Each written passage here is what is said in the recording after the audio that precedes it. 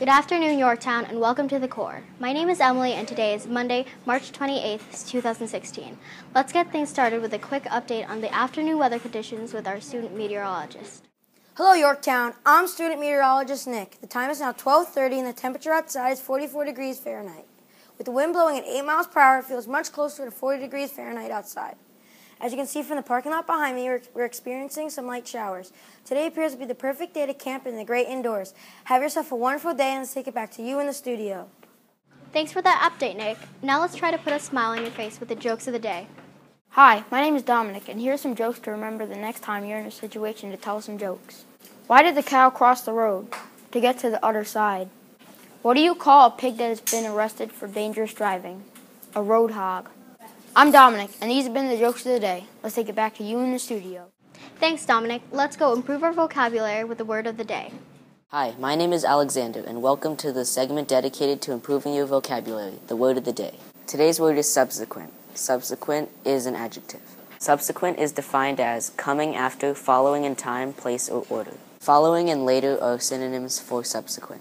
In a sentence, subsequent can be used like this. In the years subsequent to the war, the town enjoyed peace and quiet. Subsequent, can you use it today? Thanks, Alexander. Now let's go to Robert with today's true or false.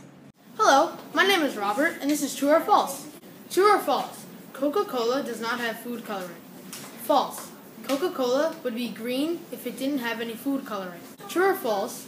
It's against the law to burp or sneeze in a church in Nebraska. True. True or false? A duck's quack cannot be echoed anywhere. True. Once again, my name is Robert, and this has been True or False. Now let's take it back to you in the studio.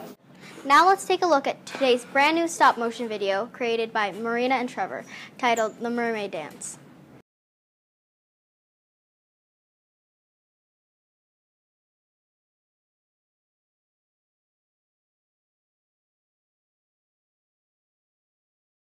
Great work, kids. My name is Jack, and here at Strang Middle School, we do our best to be safe, responsible, and respectful throughout the day. Today, we're going to focus on how to be safe during a lunchtime fire drill. How could you help? Let's see what some students at MESMS would do. One way I can stay safe and respectful during a fire drill is being calm and following directions. I could stay safe during a fire drill at lunch by not talking. During a lunchtime fire drill, I would act calm. If I'm eating lunch and the fire alarm comes on, I would stop whatever I'm doing and then um, wait until um, the teachers give directions. During lunch, if there was a fire drill, I would listen to the teachers and stay quiet. Thanks for that advice, kids. Now let's go to today's words of wisdom.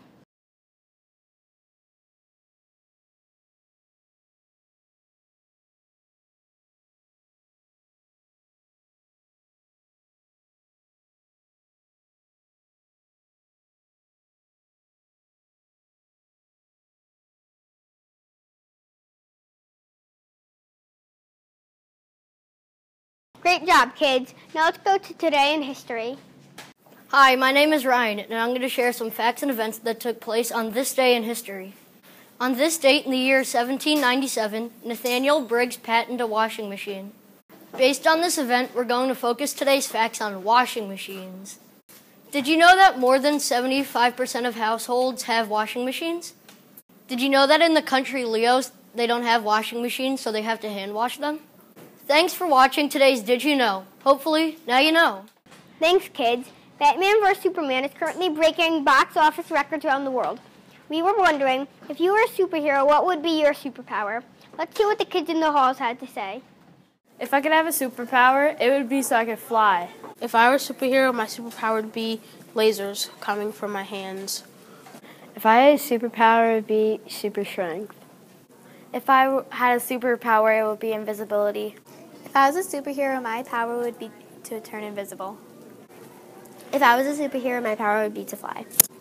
If I had a superpower, it would be to breathe underwater. If I were a superhero, my superpower would be to move things in my mind. If I was a superhero, my superpower would be super speed. If I was a superhero, my superpower would be super strength. If I was a superhero, my superpower would be super strength. If I had a superpower, it would be, probably be to freeze time. My superpower would be super strength. If I were a superhero, my superpower would be flying. Thanks, kids. Now let's go to the lesson of the day. Good afternoon, Yorktown. My name is Lucas, and today's lesson is from math class. Today in math class, we learned about the surface area of rectangular prisms. The formula for finding the surface area of a rectangular prism is surface area equals 2LH plus 2LW plus 2HW. Also, the surface area of a prism is the sum of the areas of its faces. Once again, my name is Lucas, and this has been the lesson of the day. Now let's take it back to you in the studio. Thanks, Lucas. That's our show for Monday, March 28th, 2016. We'd like to thank all of the students who contributed to today's episode. Join us again tomorrow, and until then, remember to be safe, responsible, and respectful.